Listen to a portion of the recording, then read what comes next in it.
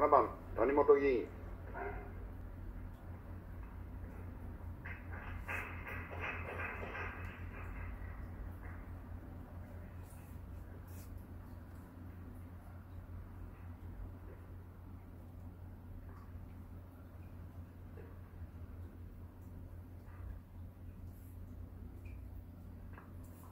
私は自然共生党として新型コロナウイルス感染症について大きく次の2点に絞って質問を行います一昨年12月に武漢で確認された新型肺炎は上海公共衛生臨床センターによるネイチャー論文でのゲノム配列を世界保健機関いわゆる WHO がいち早く採用し、COVID-19 と命名してから、瞬く間にパンデミックに陥りました。我が呉市においても、国の対策補正予算化を受け、何度も追加予算を組み、新年度におきましても、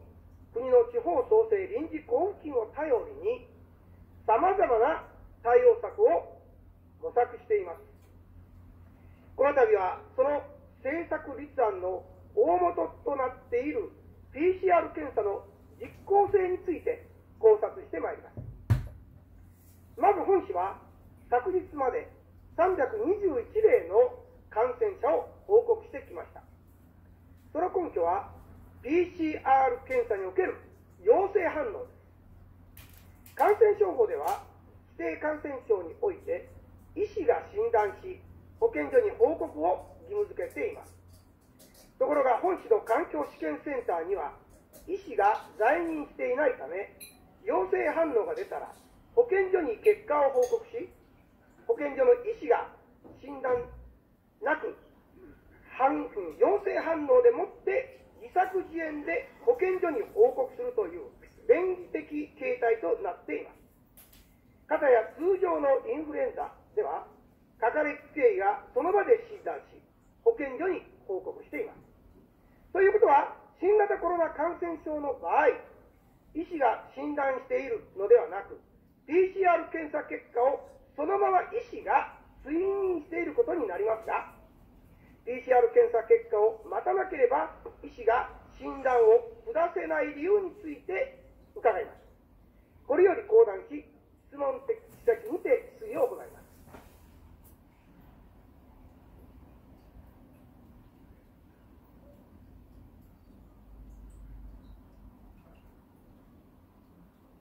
当局の答弁を求めます。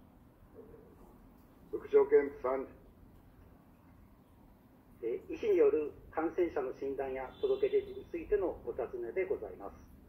医師が保健所に届け出る感染症につきましては、感染症法により現在全部で115種類の感染症が規定されております。また、新型コロナウイルス感染症につきましては、感染症法の届け出基準に基づき、患者の発熱等の症状により、感染症を疑い、さらに PCR 検査など、厚生労働省等が指定する検査方法によって判明した結果を踏まえた上で、当該感染症患者であると医師が診断した場合に、保健所に届け出ることになっております。なお、医師による感染症の届け出には大きく2通りございまして、一つは感染疑いのある患者が医療機関を受診し、PCR 検査により陽性となった場合は、受診した医療機関の医師が確定例として保健所に届け出を行います。また、もう一つは保健所が行う感染者の積極的疫学調査におきまして、濃厚接触者等として PCR 検査を行い、陽性となった場合は、無症状病原体保有者等として医師である保健所長が届け出を行い、厚生労働省に報告しているところでございます。以上でございます。はい、まあ、2つのうち1つが、まあ、医師が追認をする、その根拠は PCR 検査頼みということが分かりました。えー昨年12月5日、柳瀬博文参院議員による地方創生消費者問題特別委員会での質疑において、厚労省の佐原総括審議官が PCR 陽性は感染者であるとは言えないと明確に答弁しました。これは感染の疑いがあるという意味であって、ウイルスが付着するだけの暴露や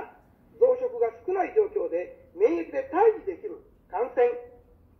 不活化ウイルス、いわゆる死骸を感知しても陽性反応を示す場合があると解釈できます。しかもウイルスが10万以上多数増殖して初めて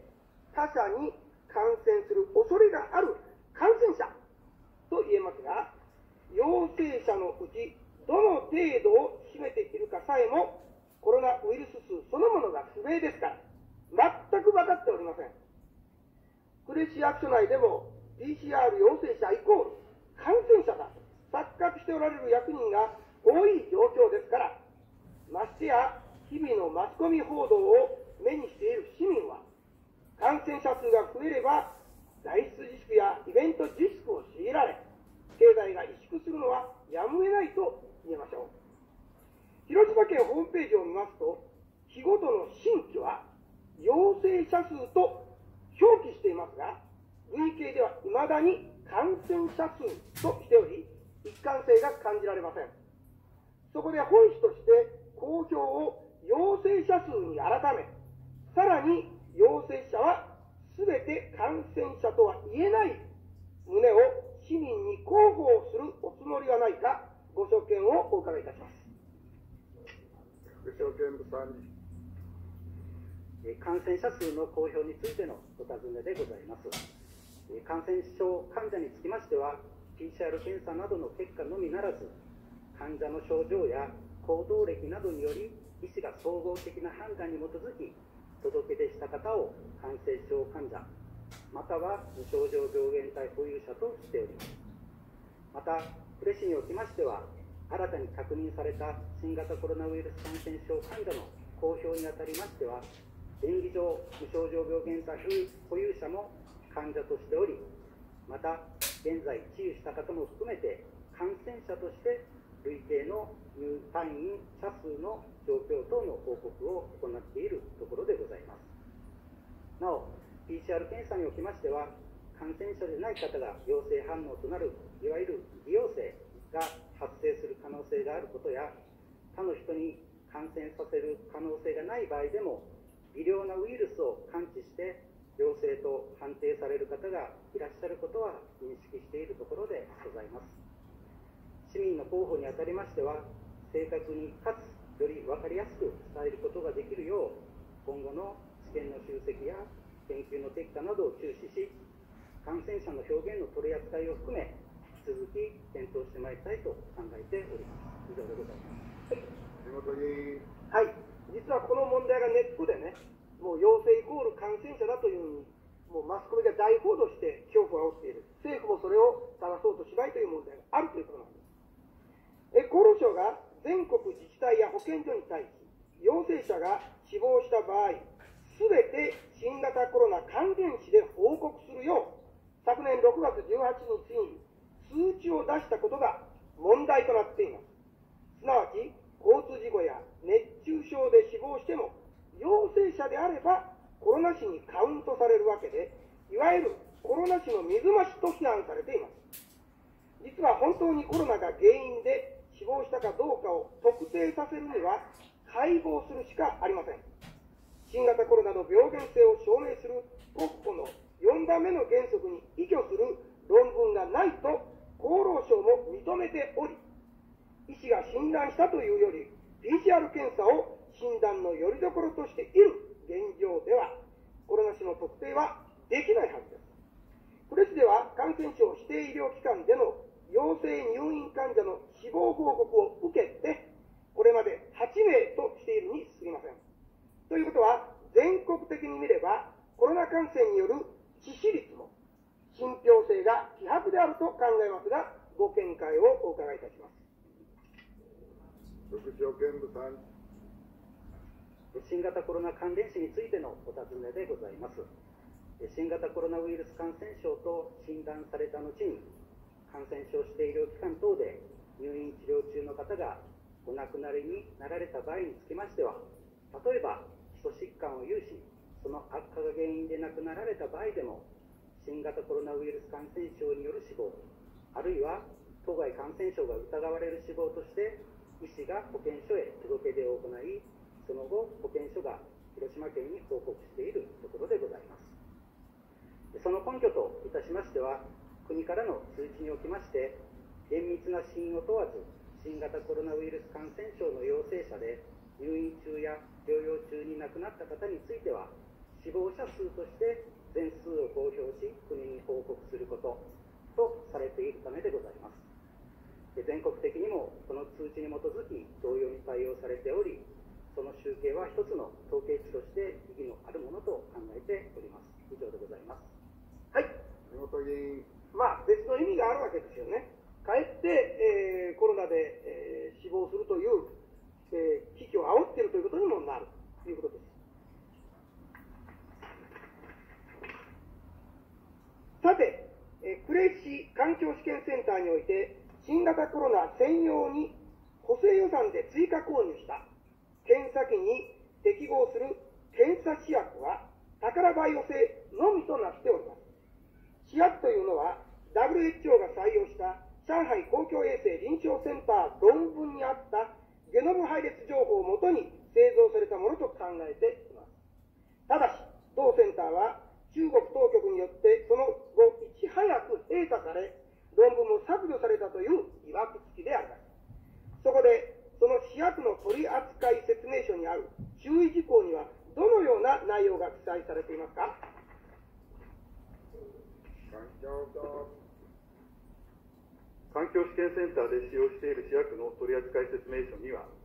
本製品は研究用試薬です。人動物への医療、臨床診断には使用しないようご注意ください。また、食品、化粧品、家庭用品等として使用しないでくださいと書かれております。なお参考までに他社の試薬の説明にも同様の記載がなされております。はい。驚きですよね。検査試薬はあくまで研究用であって、人や動物への診断への適用には使用を禁じていることが判明しました。これは他の検査機対応の試薬も全て同じ趣旨の注意書きがあるんですよ。実際ある国民が試薬キット製作会社に電話して得た回答を YouTube でアップしておられました。対応に出た専門職員によりますと、そのような注意書きをよそに、政府や各自治体が進める PCR 検査に対応するために販売しており、陽性か陰性か出たとしても、感染症を診断するのは PCR 検査結果ではなく、あくまでも医師だと。と薬機法根拠に薬機になっていました。試薬キットの意義はきっとそうなんでしょう。診断に適さないとメーカーが分かっていながら、その試薬を使用して PCR 検査を行うことそのものに大きな疑問を感じますが、納得いくご説明をお願いいたします。新型コロナウイルスの検査については、令和2年2月25日に厚生労働省健康局血圧感染症科が発出した文書新型コロナウイルスに関する検査体制の確保において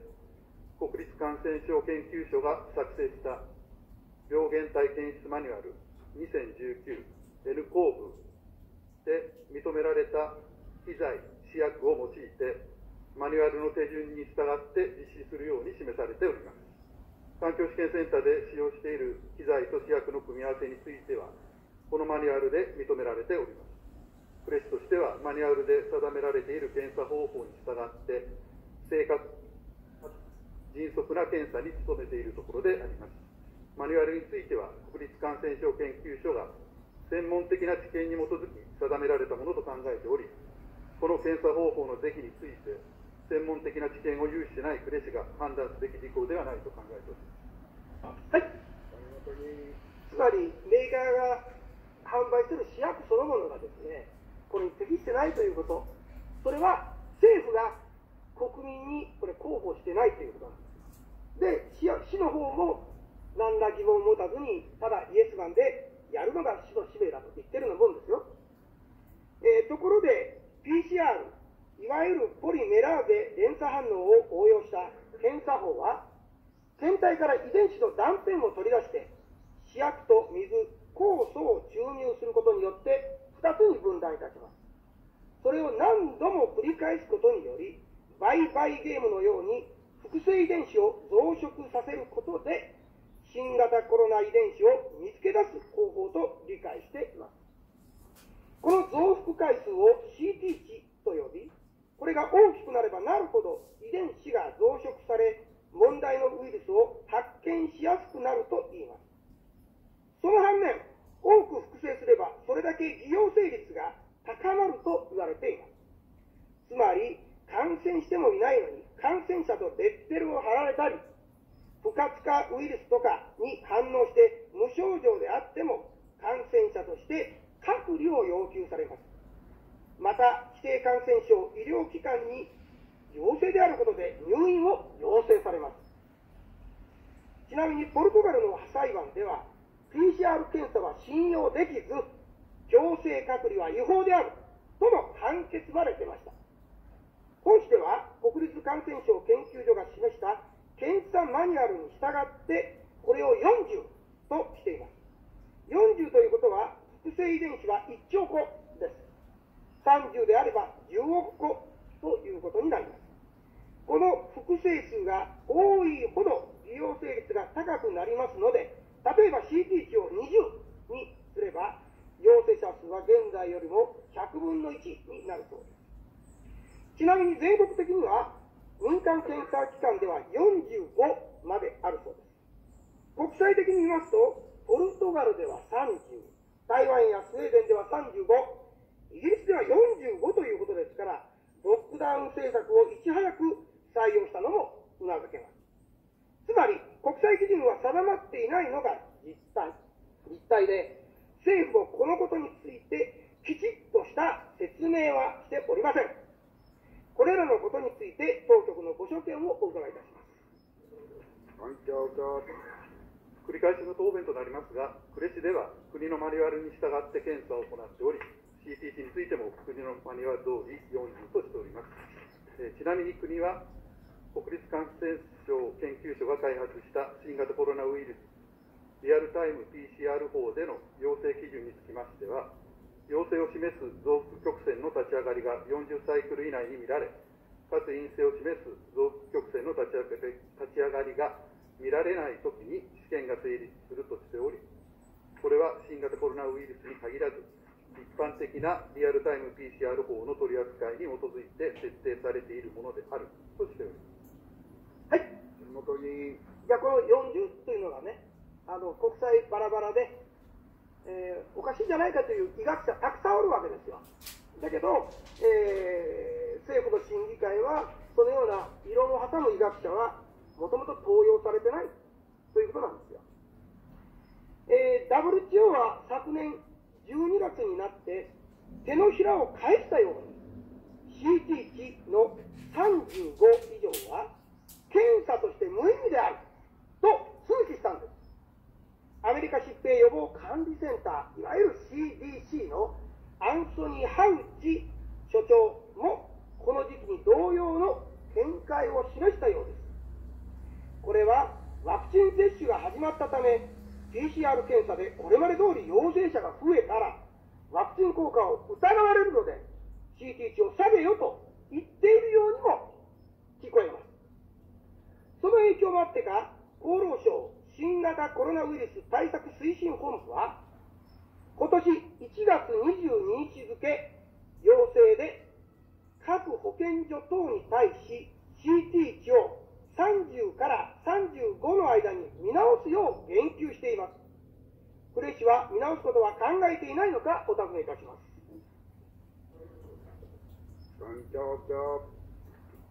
まず今年の1月22日付の厚生労働省の通知文における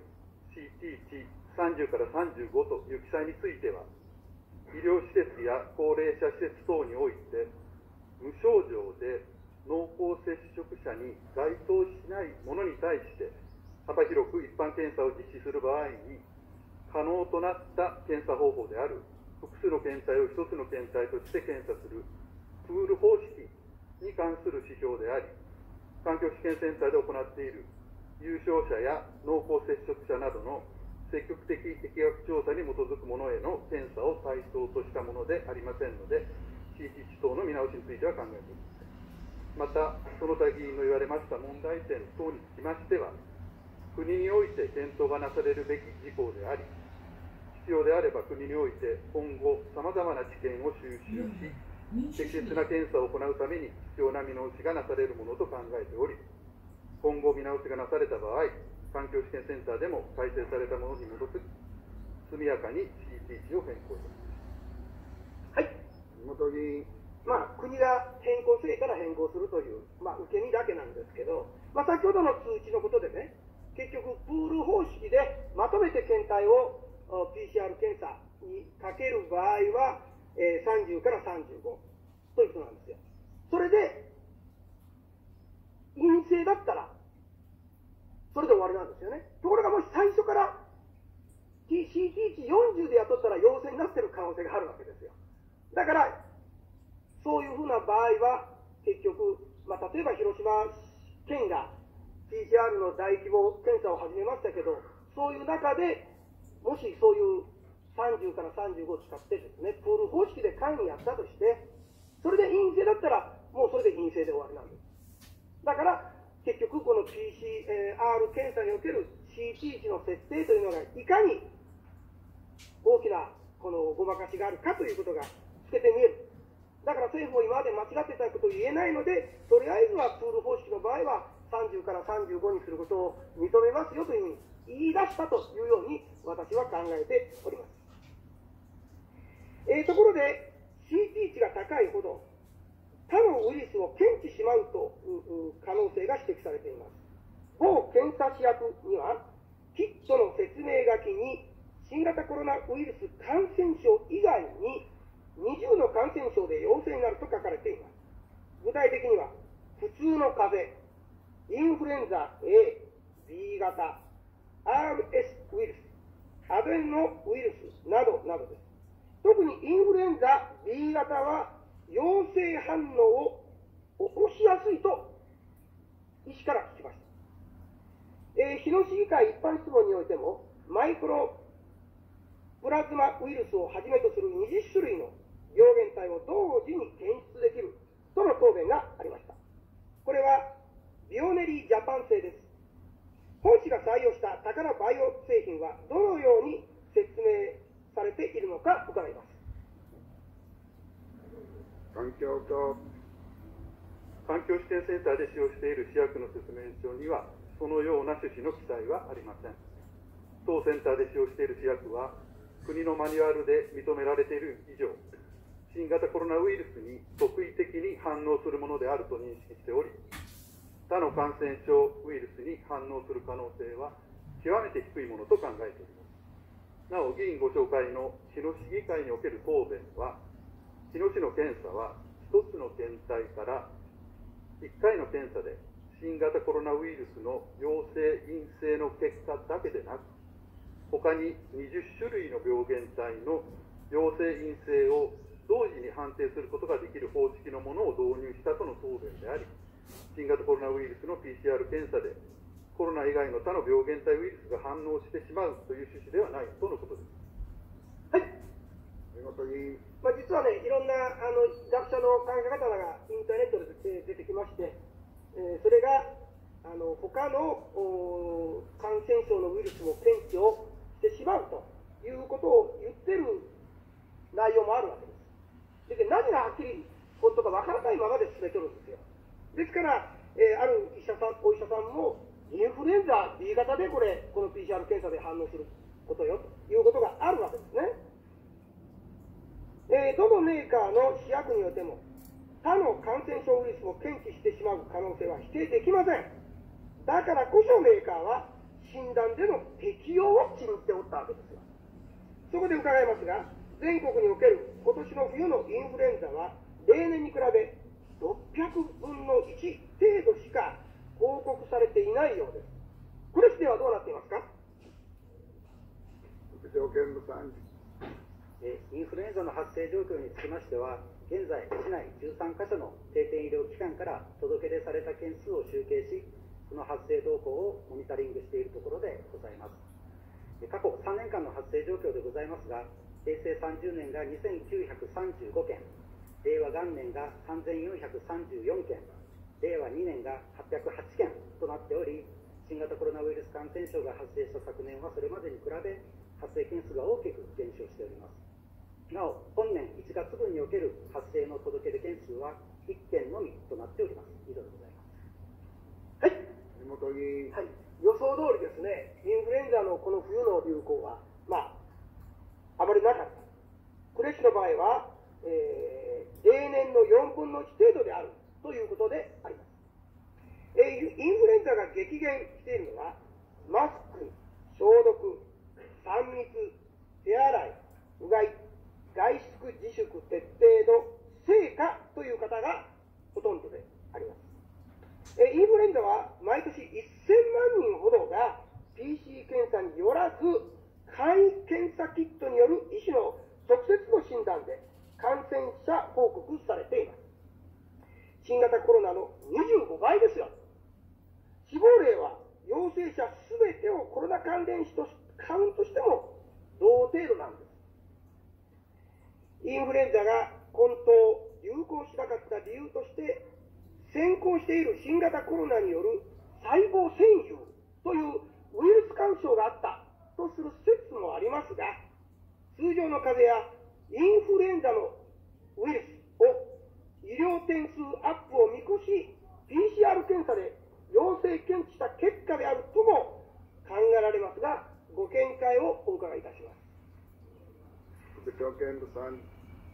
まず、インフルエンザの流行が抑えられた要因といたしましては、新型コロナウイルス感染症の予防対策であります、マスクの着用や手洗いをはじめ、3つの密を避ける行動などが広く実施されたためであると受け止めております。なお、医療機関におきましては、インフルエンザや新型コロナの感染症が両方疑われる場合は、それぞれの感染症の種類に応じて必要な検査が実施され、医師が診断しているところでございます。また、新型コロナウイルス感染症の初期症状はインフルエンザや感冒に似ていることから広島県医師会から発熱等のある患者が診療所等を受診された場合はまず簡易検査キットによりインフルエンザの検査を行うなどの手順が示されていると伺っております。こうしたことからインフルエンザの検査を実施した上でなお新型コロナウイルスの感染症の疑いがある場合に PCR 検査が行われていることからインフルエンザウイルスを新型コロナウイルスとして検知することはないと認識をしております。以上でございます。はい。谷本議員。まあ、ね、先ほどの3密やとかどうとか、そういうのが功を奏したというのは、いろんな医学者が聞いたら、こんなことはありえないと言ってますよ。こんなことができるなら、もっとインフルエンザ1000万人流行してるわけですから、毎年。そうにすればよかったいうことになるじゃないですか。これは全く、あの、詭弁でしか過ぎないし。で、地域のあのお医者さんなんかはね、もうそういうのがあの発熱とかいろいろあったら、もうすぐ指定感染症病院を紹介して、そちらの方の PCR 検査の方に行ってくれという場合も多いわけですから、えー、このインフルエンザが少ないというのはですね、やはりなんか非常にそこら辺考えてもらわないか。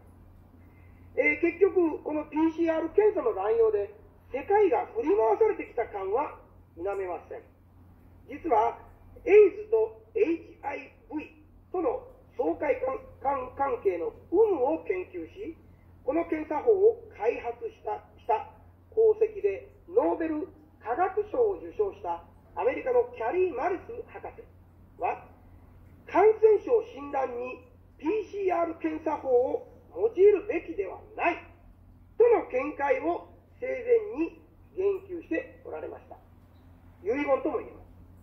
ちなみに彼はパンデミックに突入する直前の2019年8月に肺炎で急逝されています。まさに死人に口なしとはこのことです。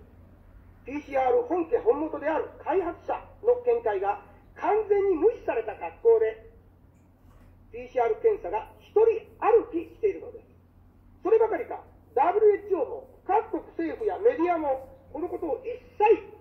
報道しないのはなぜでしょうか？この点から疑ってかかるのが政治家としての責務と言えましょう。市長にご見解がありましたら、ぜひともお聞かせください。副長検部さん。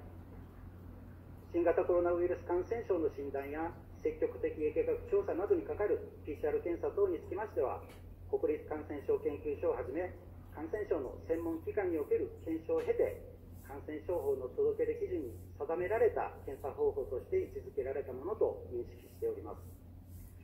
新型コロナウイルス感染症につきましては、呉市だけでなく、国や広島県と連携して対策を講じていく講じていく必要があり、呉市が独自に PCR 検査を指定できるものではないと考えております。なお、過去に例のない新たな感染症でございます新型コロナウイルスの出現により、昨年から世界的に混乱が生じている中、現在、世界各国の数多くの研究者により、検査方法や治療方法をはじめ、ワクチンの開発が積極的に進められております。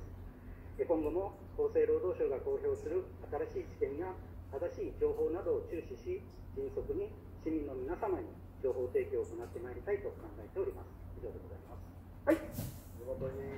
まあ、市長の言葉で、まあ、見解をお聞かせいただけなかったのは残念です。えー、次の柱は、新型コロナにかかる感染症指定類型についてであります。厚労省は未知の新型コロナウイルスに関し、感染症法に基づく指定感染症における2類相当、そして昨年2月1日に政令で1年間の暫定指定をしておりました。ちなみに2類では、2番目に毒性や感染力の強いポリオ、結核、SARS、MERS 等があり、これらと同様の医療規制等がなされます。この度暫定措置を解除するにあたって、最も程度の軽いインフルエンザ並みの5類にしてはどうか、との意見も審議会で出されましたが、そうすれば緊急事態宣言そのものの意義がリセットされるため、それはありえないと政権を忖度しました。つまり、緊急事態宣言を正当化するためのアリバイ作りを選択したことになり、本末転倒であります。その結果、去る2月3日に感染症法が改正され、新型コロナウイルス感染症は新型インフルエンザ等感染症に位置づけられたところです。これは1類と2類との間になるらしいですが、具体的に医療規制等において5類インフルエンザなどとの違いをご教示ください。また2類から新型インフルエンザ等感染症指定になることで、病床利用や診療可能医療機関、